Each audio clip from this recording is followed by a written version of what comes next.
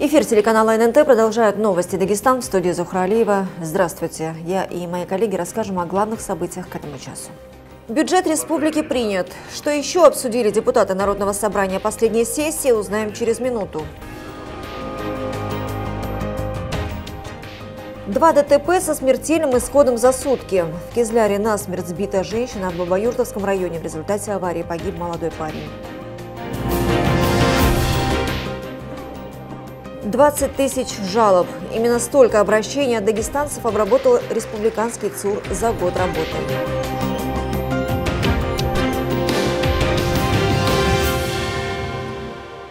Бюджет Республики Дагестан принят в окончательном чтении. Сегодня состоялась последняя в этом году шестая сессия Народного собрания республики. Президиум включил в повестку дня 27 вопросов. А какие именно, расскажет Наталья Ханбабаева. Главный финансовый документ республики изменился. Ко второму чтению во внимание приняли все предложения депутатов. С учетом федеральных дотаций и субсидий доход республиканского бюджета составляет более 170 миллиардов рублей. Однако он все еще остается дефицитным, отметил председатель Комитета по бюджету, финансам и налогам Марат Ильясов. Ко второму чтению мы подошли со следующими изменениями. Доходы республиканского бюджета увеличились на 12 миллиардов 100 миллионов рублей. В частности, по налоговым и неналоговым доходам увеличение составило 665 миллионов рублей. По межбюджетным трансфертам в связи с поступлением дополнительных средств из федерального бюджета увеличение составило 11 миллиардов 420 миллионов рублей. Расходы республиканского бюджета, соответственно, увеличились на 12 миллиардов 100 миллионов рублей, из которых на уменьшение дефицита бюджета направлено 2 миллиарда рублей, и дефицит бюджета составляет не 14 миллиардов, как это было в первом чтении, а 12 миллиардов. Объем расходов бюджета определен в сумме более 182 миллиардов рублей. По словам выступивших, в первую очередь учитывались именно социально значимые траты.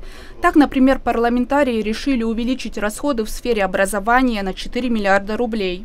Так, по разделу образования в целом расходы увеличены на 4,1 миллиард рублей с учетом капитальных вложений. Из них 567 миллионов рублей дополнительно направлено на повышение заработной платы педагогов в виде субвенций, которые передаются на места, на места а, с учетом а, суммы, которая была зарезервирована, в целом увеличение расходов по субвенциям по госстандарту сумма составляет 891 миллион рублей. 264 миллиона рублей по разделу образования предусмотрено на материально-техническое оснащение, ремонт, завершение благоустройства образовательных учреждений. 134 миллиона рублей в соответствии с теми пожеланиями, которые были высказаны на публичных слушаниях, рекомендации счетной палаты, предусмотрено на, на проведение оздоровительной кампании детей. 70 миллионов рублей на ежемесячные денежные выплаты за классное руководство педагогов. По итогам обсуждений парламентарии утвердили бюджет Дагестана на 2022 год. Кроме того, был принят ряд внутрипарламентских кадровых решений. Так, депутат Народного собрания Ильяс Мамаев был избран председателем Комитета по здравоохранению, труду и социальной политике, а его заместителем стал депутат Малик Баглиев. Наталья Ханбабаева, Нурмагомед Магомедов, Дауд Гасанов, Новости ННТ, Махачкала. Два смертельных ДТП за сутки произошли на дорогах Дагестана. Кизляре насмерть сбили женщину. Она переходила дорогу в неположенном месте. Водитель БМВ не успел затормозить на скользкой дороге. От травм женщина скончалась на месте. Человека, находившегося за рулем, задержали. Трагедия также случилась в Бабаюртовском районе. Водитель автомашины «Лада» 14 модели, не справившись с управлением, выехал на полосу встречного движения и столкнулся с КАМАЗом. Погиб пассажир легковушки, молодой парень, 23-летний местный житель. За рулем «Лады» находился мужчина 32 лет, который не имел водительских прав. Он доставлен в больницу с различными травмами. В обстоятельствах ДТП разбирается полиция. В Сунтинском районе и на Бештинском участке лавина опасна. Об этом сообщает пресс-служба МЧС Республики. Спасатели призывают жителей региона воздержаться от дальних поездок и походов на лавиноопасные участки. Но если все же вы оказались вблизи схода лавины, МЧС рекомендует не паниковать, а позвонить в службу спасения. Укрыться за скалой и дышать через одежду. Напомним, телефоны экстренных служб 101 и 112. Свыше 20 тысяч жалоб и обращений жителей республики обработал Центр управления регионом в Дагестане за 2021 год. Такие данные озвучил руководитель ведомства Султан Абдуралимов. Сегодня ЦУР подвел итоги своей работы и провел обучающий семинар для сотрудников. Жалуются на вопросы жилищно-коммунального хозяйства, э, и, конечно, это и вопросы детских выплат от 3 до 7 лет, э, вопросы трудоустройства граждан и так далее. А любой житель Республики Дагестан может оставить свой комментарий под э, публикациями официальных аккаунтов органов э, государственной власти Республики Дагестан. Далее этот комментарий автоматически э, переходит в систему инцидент-менеджмент, где специалисты Центра управления регионом Республики Дагестан уже его обрабатывают и направляют в а, муниципальное образование или органы исполнительной власти Республики Дагестан для, а, для дальнейшего рассмотрения и составления ответа а, гражданина. Основная задача ЦУРа, как и прежде, обеспечить эффективную обратную связь между органами власти и населением региона. Все обращения, которые у нас стекаются в Центр управления регионом, непосредственно также э, они мониторятся федеральными органами власти, но благодаря той успешной интеграции Центра управления регионом с руководством Республики Дагестан, большинство вопросов решаются э, уже на месте, да, с учетом э, взаимодействия с администрацией главы и правительства Республики Дагестан, с министерствами, с муниципальными образованиями. Вот, мы, мы ежедневно направляем эти отчеты, в дальнейшем и контролируем их исполнение. 23 земельных участков в Каспийске получили многодетные семьи и ликвидаторы последствий аварии на Чернобыльской АЭС. Мероприятие приурочили к Новому году, обозначив его как «Елка счастья». Бирки с адресами участков были подвешены в мешочках на новогодние ели. Каждому предлагали выбрать мешочек по желанию. Первый заместитель главы города Каспийска, председатель городского собрания депутатов, представители духовенства и общественности не оставили без внимания детей – для мальчиков и девочек выступили аниматоры и вручили сладкие подарки. Позднее в ходе выездного мероприятия всем получившим землю покажут, где именно расположены участки и разъяснят процедуру оформления документов. По поручению главы города Бориса Ивановича Горонцова этой работе было уделено очень много времени. Летом мы уже распределили часть земельных участков среди льготников, вы все об этом тоже знали. И сегодня второй, завершающий этап в этом году. Будем эту работу продолжать и в дальнейшем. Сегодня на этом, вот на этих 23 участках этот год мы завершим.